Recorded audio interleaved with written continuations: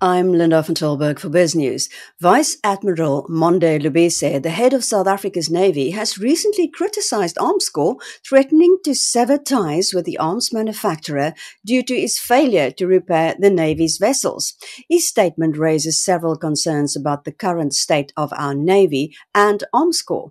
And to help us understand the situation, we have Kobus Marais, the DA Shadow Minister of Defense, joining us in the BizNews studio. Hi, Kobus, how are you? Good morning, Linda. Linda. So fantastic to talk to you about uh, all these matters again.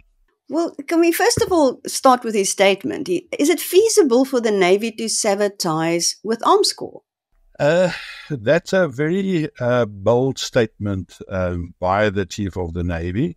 Um, while I have got enormous empathy uh, with him for you know the state of the Navy and how dilapidated the, the vessels are and how poor, you know, the support services are to do the upgrades, the maintenance, um, you know, those essential things to get the vessels on the water. Must one remember that Armscor is a fully state owned company. Uh, it reports to the Department of Defense, is part of its budget, gets its money from the Department of Defense uh, for which the, obviously the minister has got oversight.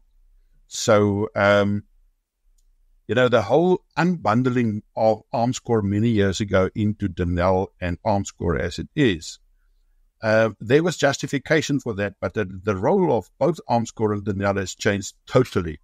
Uh, and to a certain extent, one must really question the the um, legitimacy and and the sustainability of both these organizations as they are today.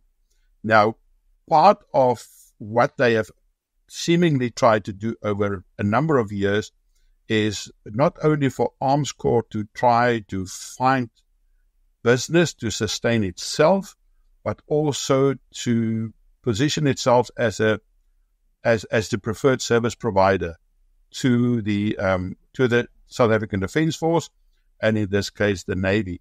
And uh, some years ago, you know, the dockyard was then transferred to Armscor to manage the dockyard, to then do all the um, maintenance on the Navy vessels, to do the midlife upgrades, uh, and to, uh, you know, make sure that the frigates and the submarines are, again, fully serviceable to be deployed. Um, that we know and I've experienced over many years has not worked out precisely like that. I think, first of all, because Armscor in its positioning as a service provider is not ideal because they are actually a contracting agent for the Defense Force for its, um, you know, munitions and also prime mission equipment. So whether uh, Armscor is the right um, player to really run the dockyard, I am not so convinced about that. We know that there are private sector, defense industry role players and stakeholders uh, that has got a much better uh, track record um, of of uh, you know servicing and delivering um, you know vessels. We know that, for instance, the current experience with Damen Shipyard in Cape Town with the de- delivery of the three multi-mission inshore patrol vessels, they are not only um, within the time frame but also within the budget the original budget.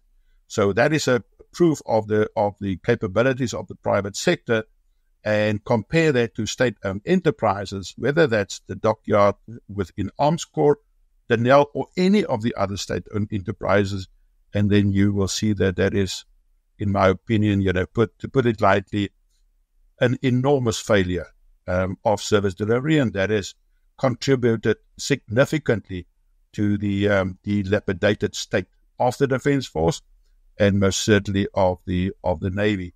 So yes, um, it is it is a bold statement, but there there needs to be political will and a political decision making. Now, without that, um, you know, the vice admiral can talk, and he has also spoken about the need for more vessels, uh, which I support him in. But with the current uh, political support and the provision of resources, I am very doubtful uh, that he will be successful in that. Uh, but with regards to Armscor, I do believe that Armscor and Denel uh, must be totally restructured and repositioned, uh, maybe not as two separate organizations, but one uh, in support of the Defence Force and its needs. Um, and, and that where the private sector can provide a much better uh, and a reliable service, and maybe in some cases even an affordable service, uh, we must really look to the private sector to to drive this needs, but also drive the economic economic development uh, and the and the job creation benefits that can derive from that. And is this ongoing friction between the two also hindering a, a resolution? Most certainly, most certainly that is the case, and uh, you will interest for interesting find that there's not only the chief of the navy that has got this this friction and frustration, but you also most certainly find that within the um, within South African Air Force. Uh, there you might even find it much stronger, uh, and where there is a seemingly a much stronger dislike for the role that Denel and Armscor is playing, and they blame obviously all the delays uh, on Armscor, uh, which is not totally true because there's also an enormous inefficiency and an unwillingness uh, among certain senior managers to uh, to bring in the required changes. So uh, that's why you know um, unless there's a political will to restructure the defense force and what we require going forward, um, you know it's unlikely that we will see um, a, a, significant change um, and an improvement in the very near future. Hopefully. 29 May will bring an opportunity to the voters to say, let's change this and uh, and and and maybe it is their will that uh, that we must drive that change. So, but we need to do something. Otherwise, you know, the navy might just change into being a water wing, which will be a um, embarrassment and a and a very sad day for South Africa. And so the the vice admiral is literally a vice admiral without a fleet, without any vessels. Yeah, that is what will what he will end up. Uh, you know, being um, because currently we know that there's only one of the frigates is is partially uh, serviceable. Yes, he's got the two new multi-mission inshore patrol vessels, but they are still under on sea trials. Uh, and the third one will be delivered seemingly towards the end of this year. But you can't run a uh, a, a, a, navy um, and with a coastline of more than 3,000 kilometers and an uh, exclusive economic zone um, much bigger than the surface of our country, and an even more bigger surface when you look at our international treaties and obligations. So, so you know, uh, you will be, for all practical purposes, be without without vessels. So, uh, um, and then you haven't even touched on the technology and the communication and radar and all those capabilities, um, those high high tech capabilities that you require as force multipliers. So, uh, God forbid that we must get you know, a disaster on our on our you know seas around South Africa, especially with this increased commercial maritime traffic uh, due to the problems in the Red Sea. Um, but yes, I mean we have got a we've got a huge challenge, and um, you know I don't think people realize the enormity of um, of this you know dilemma that we are sitting in, and the problems that it can cause us for uh, for the future in terms of foreign investments and confidence with, with foreign investors to uh, to grow our economy and create jobs. Yeah, you've mentioned our coastline of 3,000 kilometers that we have to protect. So the other thing is, you know, how do we prevent exploitation of our maritime resources, protect assets like the what communication cables, the port security, the gas plants, and you know, and smugglers? And uh, know how can South Africa fulfill its naval obligations if the navy is in such a state? Well, the short answer is can't.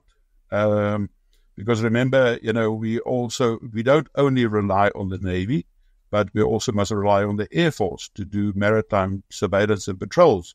Uh, and we know that currently at 35 Squadron in Cape Town, Ysterplaat, uh, we've got no capabilities. So, uh, so, so there's no Air Force capabilities to do that uh, and to fulfill that function. Um, so we are, uh, to a large extent, a sitting duck, and there is very little that one can do. Even the technology that we are using is, is in many cases very outdated and I sometimes use the um, the you know the comparison of Uh, you know, we might use still analog technology while our adversaries are using fifth generation digital tech and satellite technology. Uh, and, and that is what, what we have, what we are facing. Uh, you know, we are seeing in the DRC, for instance, where, uh, you know, those rebels are using surface to air missiles, um, you know, precision target uh, mortar bombs. Um, and we know that um, our adversaries, um, who has got some bases and surfaces and, and cells in South Africa, are using highly, highly advanced technologies. And we are just not there to be one step ahead. So it is a concern and it is something that uh, we should be addressing. It is something that the commander in chief should be aware of and should make changes. Um, but we don't, unfortunately, see that. Um, so we've talked about the frigates. What is the status of the submarines? The submarines, none of them are serviceable. We know that. Uh, the last one that was partly serviceable was the one that was involved in the accident, um, uh, you know, some time ago. And, um, you know, none of them are, are currently um, sailing. So those are three, um, you know, submarines that one can argue, you know, do we really need them? But the, the, the matter is we do have them and to, to bring them up to life again uh, and to do those essential midlife upgrades will probably cost in the region of 400 million, 500 million each, which is not a lot if you compare that with where we are sitting with overspends uh, just on, on cost of employees. We, we will have an overspend on a yearly basis of at least 3 billion rand. So, uh, so with much less than that, we can actually upgrade, do the midlife upgrades of all three uh, frigates. And you can even, uh, you know, do at least two of the submarines. Uh, and then shortly after that, you can do the other one as well. So if the priorities are right, um, and the restructuring of the defense force uh, uh, is being done, and the reprioritization of, of uh, resources and including money is being done correctly, um, there should be money to do that. Um, but, you know, again, you need a political will and you need um, bold um, restructuring and reprioritization for which you need that political will. And that's, that's not available currently. Well, last year there was this joint exercise with Russia and China, and they came with, you know, really impressive fleets. How was this possible without with um, South Africa having what is known as blue water capability? Well, you know, I was very outspoken at the time, and I think I was proven correct afterwards. And that is that, um, uh, you know, there's an Afrikaans saying, you know, when you come from a farm, where they say, you know, you need a you need a plier and and a, and a piece of wire, and you get anything going. You know, at least uh, um, have the perception that something is going. Now, that is kind of what happened with that frigate. That was basically there uh, to show that we have got some presence, while both Russia and China came with their latest um, navy vessels and clearly, you know, uh, we we played the role of the the useful idiot, in my opinion. Uh, that uh, Russia used that as a as a blatant propaganda, where they, amongst others, said that they will launch the the, the hypersonic missile at that stage, which apparently never was the idea. But uh, the official um, news agency TASS has has said that and has published that. Um, and and then China came with also their latest vessels. They were much more subtle, uh, but I think the message was was was brought across that you know they have got this capability, and all, both of them have got this um, lovely uh, partners, uh, ideological partners in the southern point of Africa uh, that they've got access to. Uh, and in my opinion, we gained absolutely nothing from that. Because in any situation and an exercise, the, the objective must be to how do you get um, uh, benefits that you can apply in your own navy in this regard, uh, and to protect South Africa and to and to build this cooperation that you can work together uh, for, for for for the betterment of not only South Africa uh, but our major trading partners as well.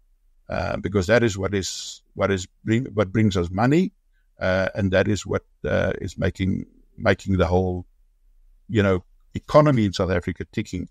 Uh, but that clearly was not the case, and uh, I think we were just the useful idiots at that stage because that was in the time of the Ukraine war. Um, and uh, you know that was shortly after the the Lady R's visit to um, controversial visit to South Africa. Um, yeah, so um, uh, I think we didn't gain anything from that. Nothing. Are there rumors that the Defense Force is um, considering bringing in Cuban experts to repair some of the equipment? well, that's an ironic question because man, we have the Cuban experts, uh, you know, as part of Operation Thusano, to um, to to maintain and rebuild our our landward um, you know vehicles and prime mission equipment. Uh, I re- recall I have asked them why do we use uh, you know Cuban ex uh, mechanics when we have got all these people that has worked on these vehicles that was part of the construction and the build and the design of these vehicles and these are not um, you know, highly technological. You know, they work with carburetors and and and uh, very very elementary, um, you know, technology for that time. Uh, the message was that you know there are no no one available, and even the private sector are uh, you know abusing the the the opportunities to make more money, um, which is obviously you know rubbish. And uh, I think the the whole operation Thusano has been has been found by the, even the Auditor General as being wasteful expenditure and irregular expenditure and most probably illegal.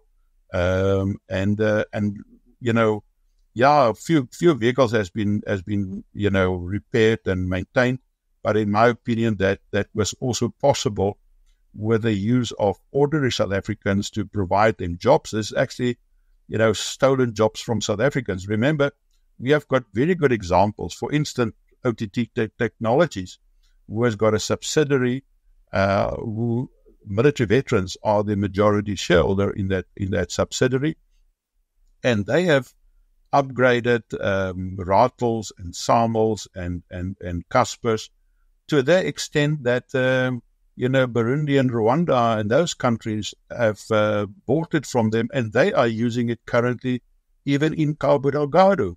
And in some cases, those old South African prime mission equipment is in a much more uh, reliable state than what we are currently using. Um, so, so that is also, you know, rubbish in my opinion. It is, it is not justified. It was pure political payback.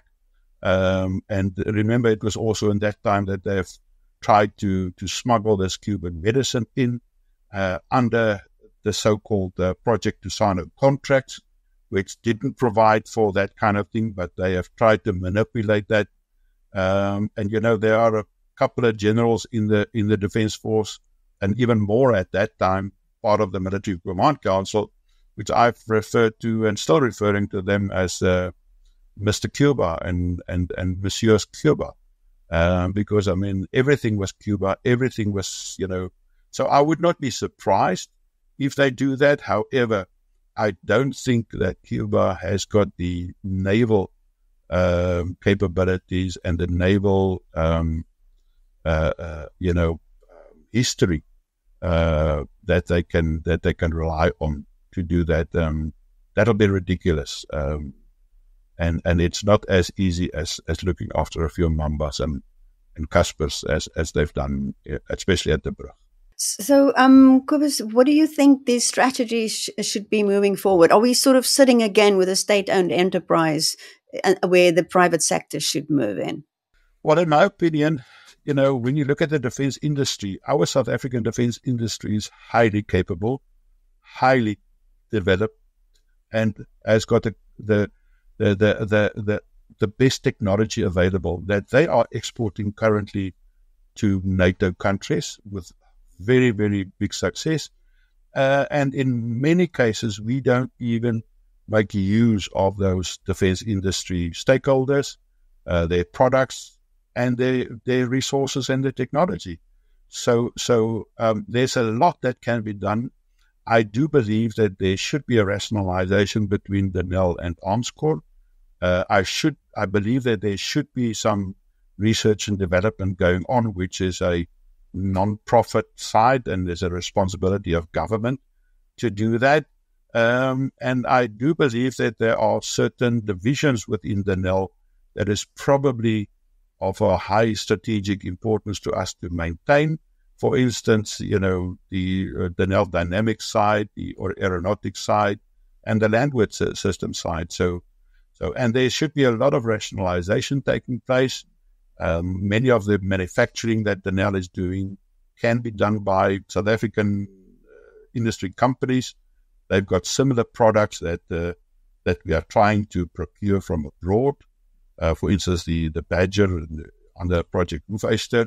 Um, and I do believe that uh, you know there are there are roles for them to play, but you know, state-owned enterprises should not be you know the key stakeholder. It should be the private sector, and we should, in my opinion, um, you know, involve the South African defense industry um, and the and, and and the resources that they've got access to uh, with their international partners and positioning that can that can very much benefit us to to to restructure the defense force, uh, to reposition a, a, a, smaller defense force but a more capable defense force, um, and also especially you know the use of technology. Um, I mean, here we sit with with Milkor, for instance, with a very very highly capable uh, UAV which they're manufacturing in, in Cape Town.